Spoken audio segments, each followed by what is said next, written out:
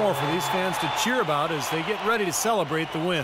Well, they can already start to celebrate, Steve, and they should let